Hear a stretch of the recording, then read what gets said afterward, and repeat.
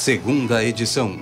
Apoio Banrisul, o grande banco do Sul. Olá, boa noite.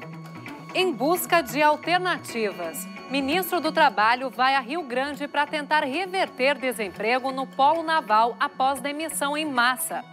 Cresce mobilização na Assembleia em torno da votação do pacote de medidas do Palácio Piratini.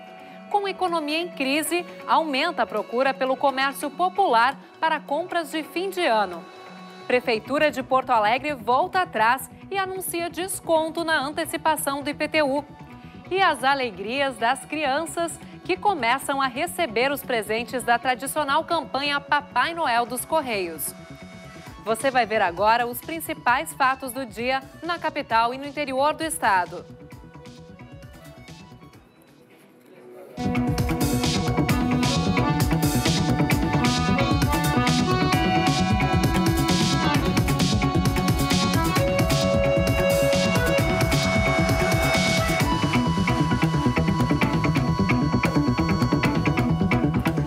Reunião entre representantes dos trabalhadores do Polo Naval de Rio Grande, no sul do estado, e o presidente Michel Temer. Esse é o principal objetivo do ministro do Trabalho.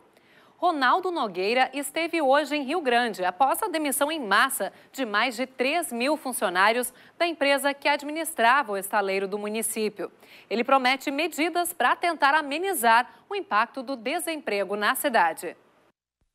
O ministro ressaltou que veio à cidade mostrar solidariedade e também viabilizar ações concretas para minimizar as dificuldades dos desempregados. Disponibilizar de ações concretas. A primeira, a vinda do ministro. A segunda é criar dentro das estruturas do Ministério do Trabalho condições para atender esses trabalhadores nesse momento de dificuldade. Nós haveremos de dar o atendimento para os trabalhadores, ah, tanto no encaminhamento encaminhamento do seguro-desemprego com eficiência, com agilidade, como também ah, no sentido de tentar uma realocação no mercado de trabalho. Além disso, o ministro relatou também que nas reuniões em que participou, solicitou que as rescisões e o vale alimentação sejam garantidos e que a empresa, junto com o sindicato e o ministério, trabalham com a possibilidade de realocação destes funcionários privilegiando os que residem em Rio Grande. Por quatro meses, o pagamento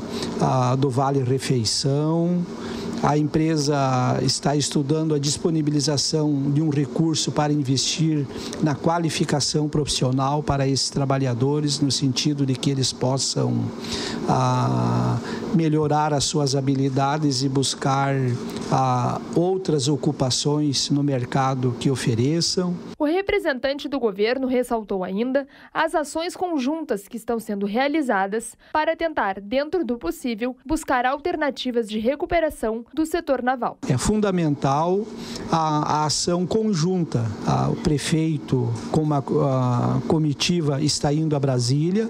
O presidente do sindicato está indo comigo hoje a Brasília para que, numa reunião com o governo federal, nós possamos buscar alternativas para que o setor encontre caminhos de recuperação e ali na frente a empregabilidade possa voltar.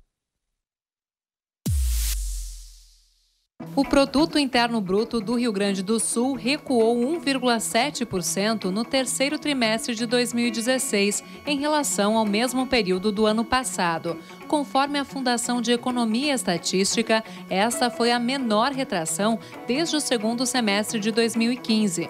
O destaque ficou por conta da redução da queda do PIB do comércio gaúcho. Também houve retração de 4,6% no desempenho da indústria e de 1,6% no setor de serviços. Já o PIB da agropecuária cresceu 2,1%. E o dia hoje foi de protestos no centro de Porto Alegre contra o pacote do Palácio Piratini que tramita na Assembleia Legislativa e a sede do governo sitiada. O clima em frente à Praça da Matriz era de tensão. Inúmeros servidores da segurança pública e também de fundações ameaçadas de extinção pelo governo Sartori protestaram contra as medidas que tramitam na Assembleia. Um boneco representando o governador foi queimado em frente ao palácio. Procurado pela reportagem, o executivo não quis se pronunciar sobre a manifestação dos funcionários públicos. E a antecipação da votação desses projetos do governo na Assembleia para esta semana ainda depende de acordo entre os deputados. Na reunião de hoje da mesa diretora com os líderes dos partidos, não houve consenso. A reunião foi movimentada. Servidores na entrada da sala da presidência e deputados das bancadas representadas na Assembleia Gaúcha. Até o secretário da Fazenda do Estado, Giovanni Feltes, passou para uma visita de cortesia. Mas na reunião das lideranças hoje, o pacote do governo Sartori não foi pauta. Havia a expectativa da antecipação da votação, que poderia iniciar por alguns projetos já nesta quinta-feira. Mas, para isso, o governo busca as assinaturas de 37 dos 55 deputados. O que ficou confirmada hoje foi a publicação dos projetos do pacote no Diário Oficial. Se houver acordo de liderança, que podemos também fazer uma, uma reunião extraordinária, também estou, o líder do governo está construindo nessa casa, não é, não faz parte da, da, da questão da presidência, né? Eu posso convocar uma reunião extraordinária de toda a liderança para decidir a pauta, mas por enquanto não tem nada articulado, não tem nada ainda programado. Eles estão conversando entre os deputados. Ao final da reunião, a presidente recebeu um grupo de servidores da Fundação Piratini que entregou um abaixo assinado com mais de 11 mil assinaturas contra a extinção da TVE e da FM Cultura. Junto, representantes de 300 entidades da sociedade civil, da música, teatro, cinema e arte entregaram documento que também pede a manutenção das emissoras. Silvana Covatti disse que vai distribuir a informação sobre os documentos aos demais parlamentares da casa.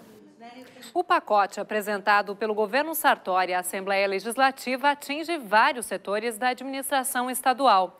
Na área da segurança pública, hoje a gente mostra que estão entre as propostas a retirada da Brigada Militar da Guarda Externa dos presídios e a alteração da idade para a reserva compulsória dos brigadianos. Pacote propõe medidas administrativas, como a restrição com prazo para a cedência de policiais militares a outros setores do governo. Ainda acaba com a obrigação da Brigada Militar de fazer a guarda externa dos presídios gaúchos e propõe o corte pela metade dos 10 departamentos atuais e a redução de 34 para 20 subdivisões na Secretaria de Segurança Pública. E devolvemos tanto para a Polícia Civil quanto para a Brigada Militar mais ou menos 70 servidores para os dois. E queremos até março do ano que vem, uma vez aprovado esse conjunto de medidas, devolver mais 200. Não é devolver para a brigada, para a polícia, é devolver para a rua. Os brigadianos, no entanto, estão preocupados com as mudanças que atingem a aposentadoria, como o aumento do limite de idade para ingresso na reserva, que dos oficiais passa para 65 anos e dos praças para 60 anos. Também propõe aumentar a idade para a reconvocação de militares que já estão aposentados, oficiais até os 70 anos e praças até os 65 anos. E ainda a medida que aumenta em média três anos a prestação de serviço pelo militar com o fim da licença especial, que era incorporada na aposentadoria.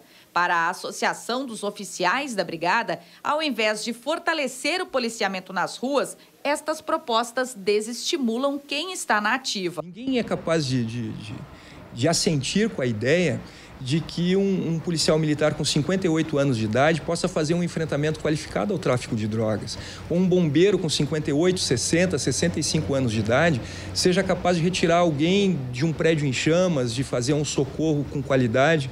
Então, é essa, essa renovação de quadros, essa inclusão de efetivos e esse cuidado com o militar na reserva, nada mais é do do que a compensação de uma vida de privações, de restrição em favor desta mesma sociedade. Agora é preciso que as pessoas entendam é, que não é um tratamento de privilégio, é um tratamento de prerrogativa. O governo justifica que as medidas não têm impacto imediato para os servidores e que o sacrifício contra a crise financeira deve ser de todos. A longevidade média do gaúcho é 77 anos Então, e as aposentadorias em algumas das instituições da segurança pública se dão com 40 e poucos anos. Uh, o comandante da Brigada Militar vai se aposentar agora com 53 anos. Porque ele quer? Não, porque ele bateu na compulsória. E, se Deus quiser, ele vai viver até os 90 e poucos anos. Então, como suportar, como o povo gaúcho vai suportar uma aposentadoria de 40 anos? Então, eu sei que, que o ideal seria trabalhar menos, etc, etc, mas não, não tem outro caminho. Não, não adianta querer inventar a roda. Se as, se as pessoas vivem mais, tem que se aposentar mais tarde. As principais federações empresariais do Estado divulgaram um manifesto de apoio ao pacote de medidas do Palácio Piratini. As entidades apresentaram um estudo encomendado ao Instituto de Pesquisa de Opinião que revela que quase 60% dos entrevistados já ouviu falar sobre o conjunto de medidas encaminhado à Assembleia. Mais de 54% aprovam a mudança na forma de pagamento da licença-prêmio aos servidores públicos e quase 74% concordam que o sindicato deve pagar os seus nomeados. Outros 60% são favoráveis ao pagamento prioritário dos servidores que ganham menos e 80% aprovam a mudança na data de pagamento do funcionalismo, mesmo que para isso seja necessário alterar a Constituição Estadual. Além disso, quase 90% dos entrevistados são favoráveis à redução de despesas do Judiciário e do Legislativo, e mais de 76% defendem a mudança no repasse para os demais poderes, o chamado duodécimo.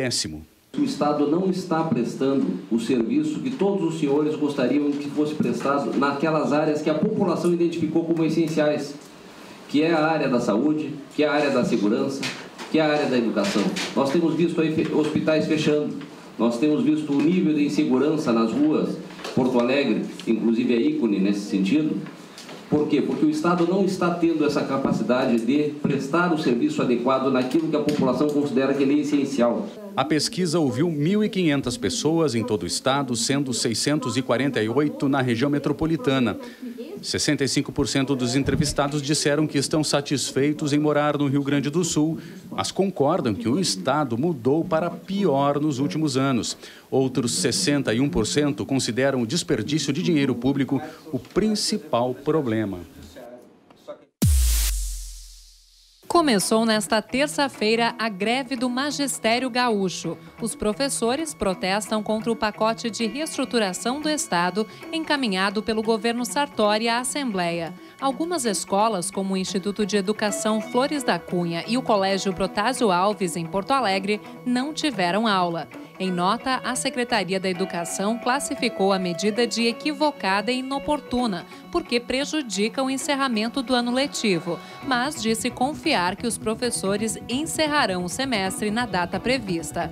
A greve segue até a votação do pacote de medidas contra a crise financeira na Assembleia Legislativa. Tempo firme e poucas nuvens na região metropolitana nesta quarta-feira. Em Porto Alegre, o calor diminui, máxima de 27 graus. A temperatura se repete em Novo Hamburgo, que também vai ter um dia com predomínio de sol. Mesma condição no litoral norte. Os termômetros marcam entre 18 e 26 graus em Tramandaí. E ainda nesta edição, veja a entrega de presentes da campanha Papai Noel dos Correios. E depois do intervalo, aumenta a procura pelo comércio popular para as compras do final de ano. É daqui a pouco.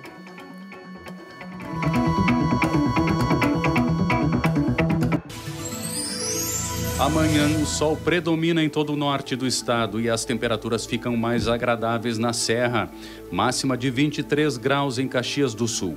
Passo Fundo vai ter um dia de tempo firme e poucas nuvens, com termômetros variando dos 15 aos 25 graus. Previsão de tempo firme também no noroeste e o calor diminui um pouco. A temperatura não deve passar dos 27 graus em Ijuí. Estudantes protestam em Porto Alegre contra a PEC do teto de gastos. Nesta manhã, manifestantes colocaram fogo em uma barricada de pneus e entulho para bloquear a Avenida Bento Gonçalves, na Zona Leste, em frente ao campus do Vale da URGS. O batalhão de choque foi chamado para dispersar o ato. A PEC 55, que limita os gastos públicos por 20 anos, foi aprovada hoje em segundo turno pelo Senado. Agora depende apenas de sanção do presidente Michel Temer para entrar em vigor. Os municipários de Porto Alegre estão em estado de greve. A medida aprovada em Assembleia na tarde de hoje vale até o dia 20 de dezembro, data prevista por lei para a quitação do 13º salário. Caso a prefeitura não faça o pagamento em dia, a categoria pretende paralisar as atividades a partir do dia 21. E para quitar o décimo, o prefeito José Fortunati voltou atrás. Decidiu autorizar o desconto para quem pagar antecipadamente o IPTU. Em entrevista coletiva, o prefeito José Fortunati anunciou o desconto de 12% para o pagamento antecipado do IPTU até o dia 2 de janeiro. O índice é o mesmo concedido nos últimos três anos e só vale para o pagamento em parcela única. Que é usado desde 1989, assim, a lei complementar que criou o IPTU. E dentro da, da lei que criou o IPTU já havia previsão do desconto no mês de janeiro. E de lá para cá, esta lei tem sido utilizada para conceder o, o desconto do IPTU no mês de janeiro e no mês de fevereiro. É possível conceder-se em janeiro e fevereiro, mas eu estou concedendo somente no mês de janeiro, que é o que me compete. O prefeito explicou que retirou da Câmara de Vereadores a proposta de mudança na lei orgânica que permitiria o pagamento parcelado do 13º salário dos servidores, porque teve o indicativo de que o projeto seria recusado no plenário. A antecipação do IPTU, segundo Fortunati, é a única alternativa do executivo para pagar o 13º e garantir o salário de dezembro dos servidores. A medida contraria o pedido do prefeito eleito Nelson Marquesan Júnior. O prefeito eleito está tomando as medidas que competem a ele a partir de 1 de janeiro, inclusive a própria, o próprio envio da reforma administrativa para a Câmara, que ele solicitou que eu enviasse. Eu vou enviar sem qualquer questionamento, porque diz respeito ao mandato dele. O que diz respeito ao meu mandato, até 31 de dezembro de 2016, eu estarei executando com toda tranquilidade. Com antecipação do IPTU, a Prefeitura espera pagar o 13º dos servidores até o dia 22 de dezembro e o salário de dezembro até o dia 30. A quarta-feira vai ser ensolarada e quente no oeste gaúcho. Em Uruguaiana, a temperatura fica um pouco mais baixa que hoje e chega aos 27 graus durante a tarde. Calor vai ser mais intenso em São Borja, que vai ter um dia de céu claro e máxima na casa dos 29. Em Alegrete, tempo firme e grande variação térmica. Depois de um amanhecer com mínima de 12, à tarde a máxima atinge os 27 graus. Amigo secreto, presentes, lembrancinhas de Natal e aquela roupa branca para a virada do ano. São vários os motivos que fazem as pessoas correrem para o comércio em dezembro. Na capital, quem quer economizar encontra uma saída no comércio popular, um setor que, apesar da crise, continua crescendo. O Centro Popular de Compras na região central da capital recebe cerca de um milhão de pessoas por mês.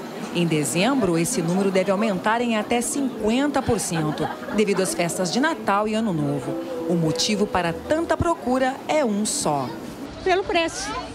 Vale a pena? Vale os melhores preços, a qualidade que tem né, aqui na Pop Center e os presentes de Natal, né? No local é grande a variedade de produtos com preços para todos os tipos de bolso. Roupas, brinquedos, acessórios e até perfumaria podem ser encontrados por 20, 15, 10 reais. Aqui não tem sacola que vai dizer que você é rico não tem nada que identifique poder econômico. Então, o que, que as pessoas fazem? As pessoas que querem comprar uma roupa, um calçado, um brinquedo, elas vêm aqui e isso não está agregado ao preço. A Avenida Voluntários da Pátria, também no centro de Porto Alegre, é um tradicional ponto do comércio popular, com dezenas de lojas e movimentação constante. Para este economista, esse tipo de varejo tem impacto significativo na economia. O mercado popular, quem sabe, seja um mercado uh, que os empresários e os comerciantes mais valorizam, porque ele é constante. É um momento muito delicado, mas os empresários, através das ofertas, das liquidações e do marketing muito forte, ele está chegando justamente nesse mercado popular. Quem quer economizar já sabe onde encontrar produtos mais baratos, mas tem que ter paciência para caminhar de loja em loja, pesquisar preços e enfrentar fila no caixa. Mas para quem busca pagar menos, vale a pena. Na região central do estado, a quarta-feira vai ser de tempo firme. Em Santa Cruz do Sul, o céu fica parcialmente nublado e a máxima chega aos 27 graus.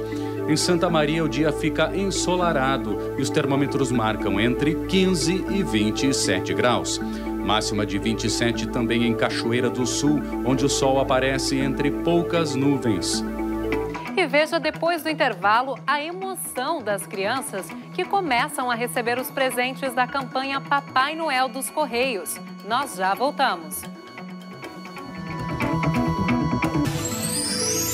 Predomínio de sol e temperaturas agradáveis na região da campanha nesta quarta-feira.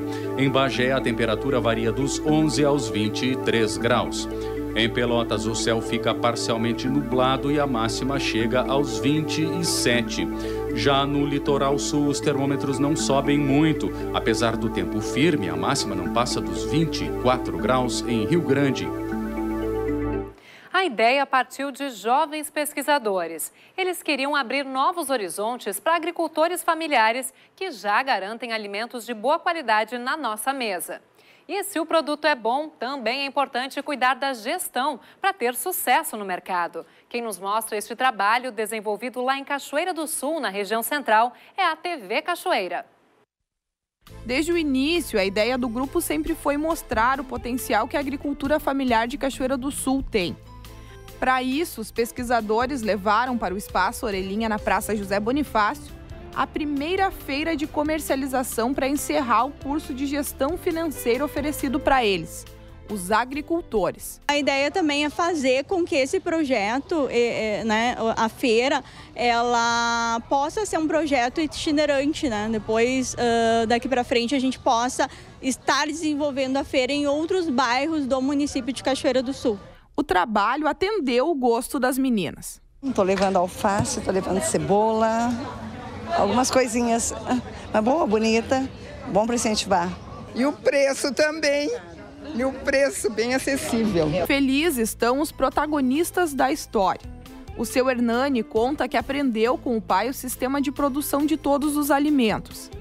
Com muito orgulho, mostra o que está à venda. Os legumes minimamente processados são frutos de especializações que começaram no ano de 2012. De lá para cá, o agricultor vem acumulando conhecimento.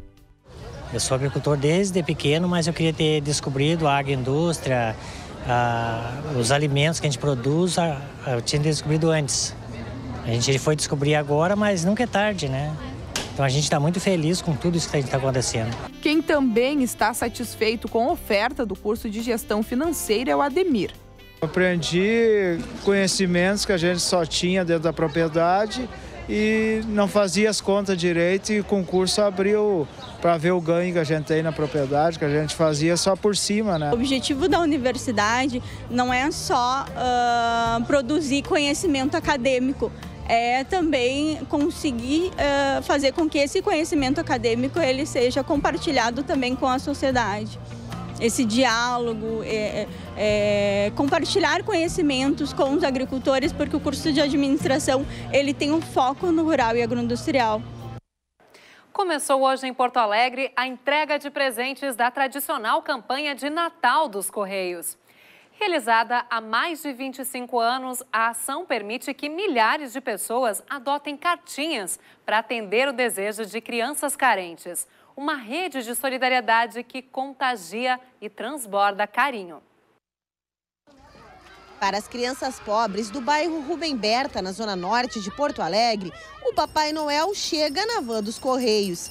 E para as crianças pobres do bairro Rubem Berta, receber o Papai Noel na própria escola é uma emoção e tanto. Ai, ansiedade. Muita? Sim. Neste ano, o ponto de cultura do bairro foi escolhido para a festa.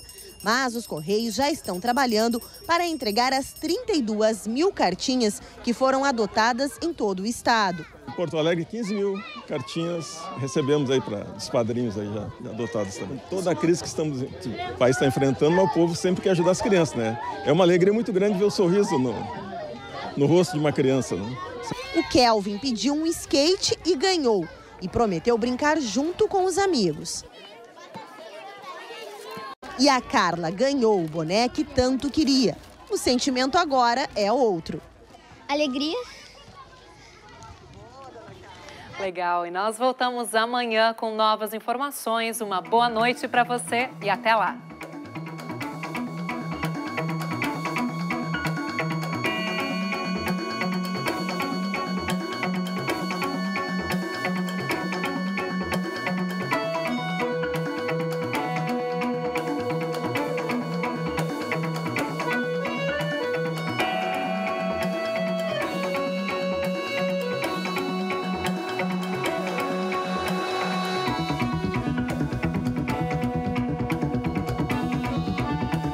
Segunda edição. Apoio Banrisul, o grande banco do Sul.